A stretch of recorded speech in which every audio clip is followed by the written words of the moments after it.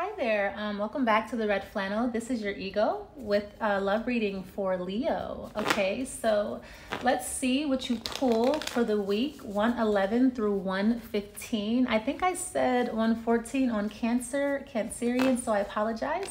111 through 115 for Leo. All right, um, Venus and Juno. You can also check your other aspects, your major aspects, Sun, Moon, Rising, in the North Node.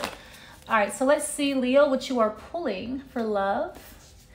Ghosted. Okay. Um, all right, so I feel like you're ghosting someone all week. You're not you're not going to talk to someone for the rest of the week or at least uh, you know, through 11 111 through 115. So, let's see who you who are you ghosting?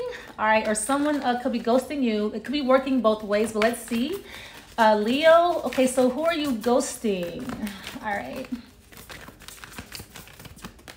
You are ghosting a Gemini, it looks like. Okay, yeah, you just stop talking to somebody all of a sudden, all of a sudden, abruptly, it just ends.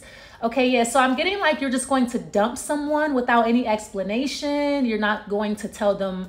I just feel like you just dump somebody, just cut somebody off, just period. All aspects, you know, you, you block them from your phone, all of your um, online platforms. You have no words for this person at all, period. The Seven of Cups, yeah. You're kind of going to leave somebody really traumatized, confused, and like crushed all right, this person is going to be crushed, okay, when you dump them because somebody is like, what the fuck just happened? Okay, so I feel like somebody has no idea why you are ignoring them or why you ghosted them. They're going insane trying to figure out why you left or why you're not talking to them or, you know, where you went. So somebody, yeah, somebody is like watching you constantly. You know, they keep refreshing the page or like, yeah, somebody is really, you have somebody going crazy or you have like somebody gone here okay stalking you like crazy. We have the page of pentacles yeah.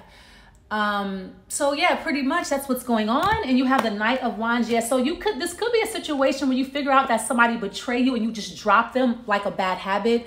Like you know the moment that you find out that somebody's cheating you just let you just drop them you just dump them.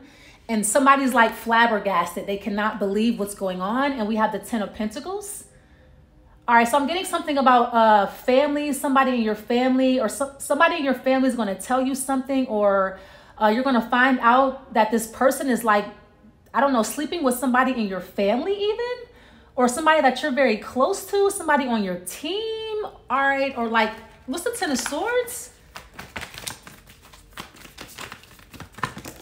Yeah, the Ace of Swords. Okay, yeah, you're. I'm, I'm getting you're going to meet somebody new right after you dump them, though. Yeah, but you're going to find out that somebody has been cheating on you.